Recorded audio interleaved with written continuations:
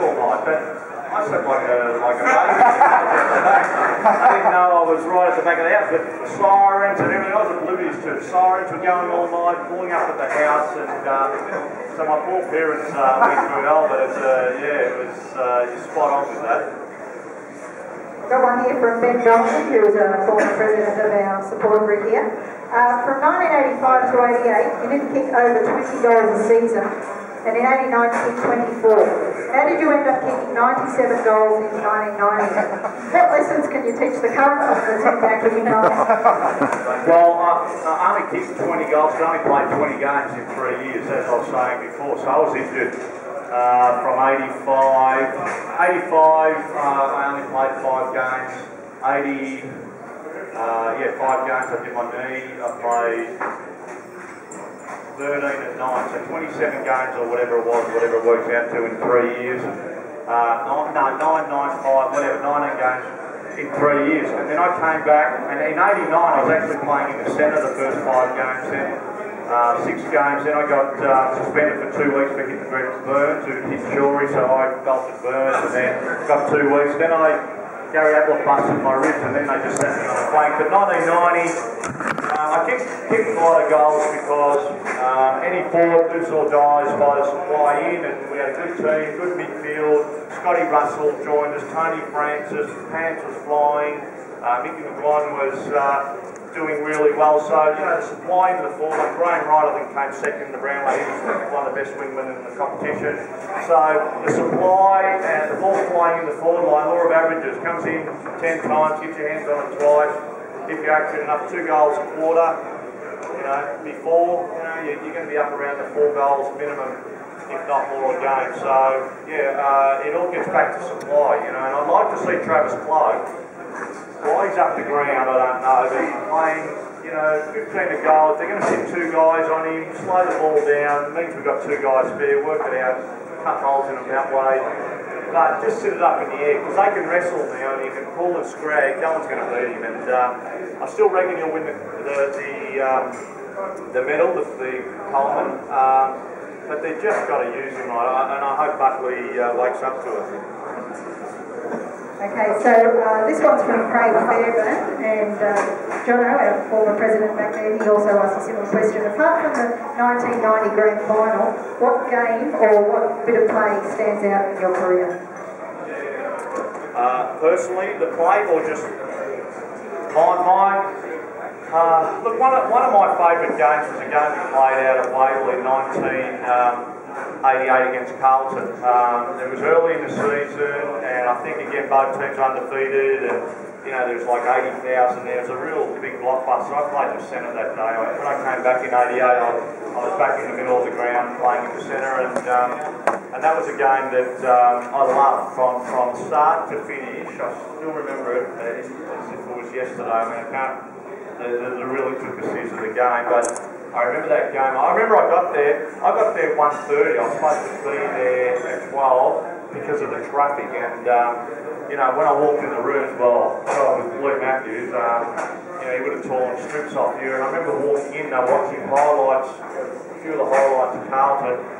And he just glared at me and I said, mate, and I went over to him and I said, I'm so, so sorry. I couldn't get in. I had to actually get a police escort in the end.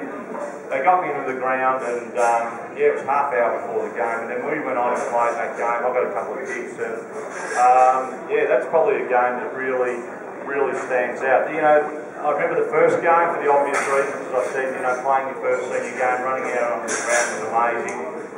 And unfortunately, at the latter end, I uh, when I played my uh, uh, 250th, um, lo and behold, I didn't know it was going to be my, the last game I was ever going to play for Collingwood because I was actually a late change. Wasn't going to play, did some contesting work. Someone pulled out and uh, Leigh Matthews rang me and said, I'm going to play you tomorrow if you want to play. And I said, yeah. Yeah, and I, because I thought I was having problems with the knee. Uh, and as it turned out, the knee was no good. You know, ran out, and uh, when you're playing a game and not thinking about things, it's a different. You know, telling yourself not to do things during training, but in a game, when you're more reactive um, and, you, you're carrying an injury, you just can't get through. Yeah, Mate, do you want to open up the floor? Is okay, has anybody here got a question for, for Lex? We'll give Avon a go. Um, you did press red for red on top footy last year. Are you doing that again, or are you hoping you're doing that again? Or what was it like sitting in a common box with Eve for three hours? Well, uh, I'm not sure if you heard that, but I was asked whether, you know, we did the uh, press red for Ed, uh, read that Collingwood-centric uh, Collingwood-Richmond game. Um, well, being in a box with three other lunatics, and they were lunatics, I mean, uh, it was really hard because at one time early in the game, uh, Richmond had done really well, and I was sort of commentating, you know, in general, you know, saying, oh, that was good play by Todd. Well, they looked at me and he goes, mate, you're going to get the sack, you know. this is just purely Collingwood, don't bump up the opposition, you know. Yeah, I think he even said on there, he goes, Dave, stop giving the uh, opposition a rap. So it was a bit over the top. I mean, I don't know if it can work. Do you really want to watch football that way? I mean, I like, you know, I love my team and, and like uh, listening to a game, but at the end of the day, uh, you know, I want to take the whole game in. So, look, it was a bit of fun. I don't know. Uh, you know, I sat by the phone for the next few weeks, but I didn't get another phone call, so well, I don't know what's going on with it. Anybody else got a question? We might go up the back here. Yep. You've been retired for about 20 years. Um, has Collingwood ever asked you down to training to teach the boys how to kick straight with skills? And you should be paid a million dollars you down there. Well, um, I was just asked if I've been. Look, I have been asked. The only two times they've asked me to go down and consider helping out was um, when they finished 15th on the on the ladder. You know, and I think it was more marketing thing. And um, I don't know. I think they they were probably spooked by me a little bit. Uh, it's a bit of a popularity contest. I don't know whether they try and take the focus away, but. Uh, Look, uh, I'm sort of past it a bit now. I'm now 52, so at the end of the day, you know, I've got my young kids and uh, and that's where I sit. But it's interesting enough. I did work with Dan Henry last year. He was flying down. He rang me, and I knew his I slowed him, and he wanted to do some work with me. So I did some work with Dan last last Christmas. So the Christmas before with his kicking and just his positioning. I'm sorry. Well, I don't know if he's playing today, but, but that, that, that wasn't this Christmas. It was last. He had a big year. It was really good. He had a good year last year. But it was interesting enough.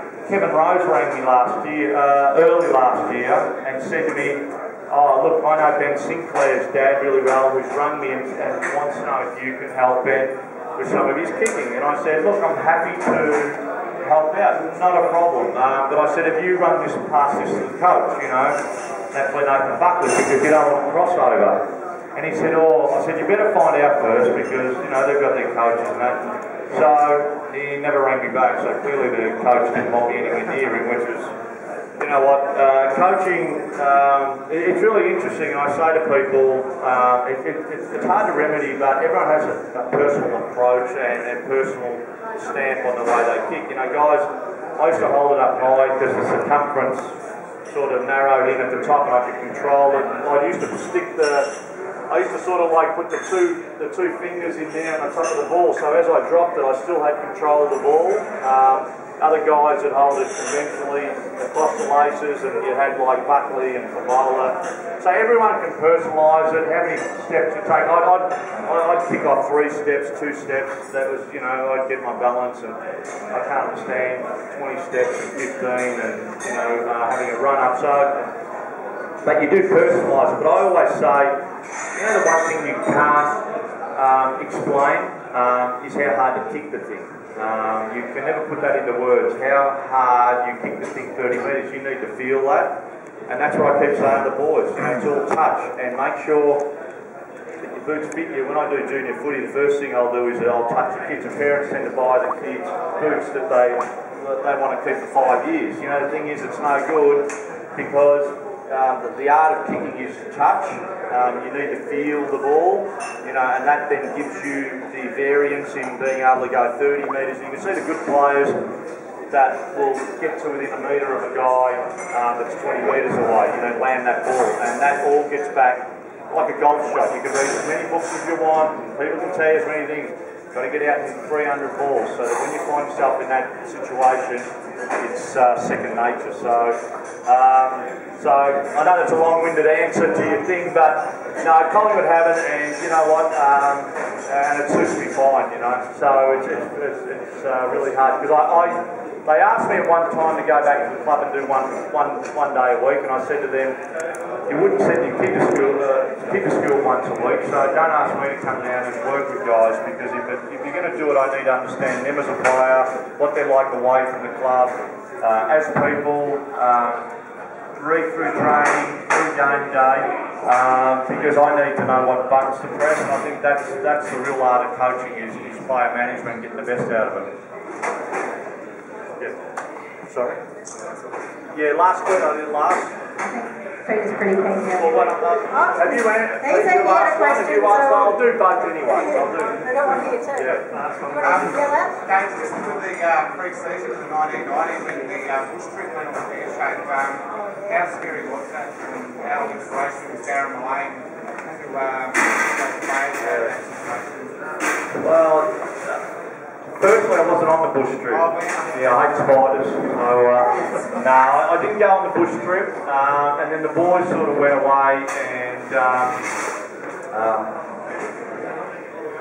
and it was a mix of a lot of things, and they were lost, and they had to work their way back and, and find their way back out there, which they did. But the boys always said it was a horrific experience. You know, they, they, they were left out in the middle of nowhere. Um, you know, at night they didn't have any lighting, natural lighting, so it was pitch black. Um, you know, had really uh, scarce sort of, um, you know, sort of things like rationings and, and bedding. They had to sleep on the ground.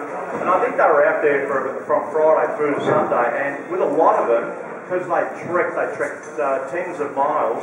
Um, you know, they blistered up badly, and then again, you know, just had to keep going. But look, at the end of the day, um, it was all designed around bringing the guys together and putting them in a in a environment that was foreign to them. You know, um, and, and the reason they do stuff like that is to see to put you under that type of pressure to see what you like at working with guys to, to be able to work out. And, you know, it's the first time uh, the club had done anything like that. We've done other camps, but not to that to that sort of level in that sort of environment as well. And um, it was something they thought, you know, really, as part of everything they did, helped us with, with what happened in 1990 but I know they never did it again um, because because it's also fraught with a bit of danger because there is a danger to the to, to the players as well. And you know they would never do oh they still I mean they go to Colorado and go into the Grand Canyon with these guys and climb but, they are very very cautious and very mindful um, these days especially today's footy. These guys are like Formula One athletes aren't they? They're so refined and you know they're they're so finely tuned that you know you you, you really got to um, you know keep them uh, out of harm's way. You know, and we, we never did it again, but it, but it certainly was important to us uh, leading in 1990.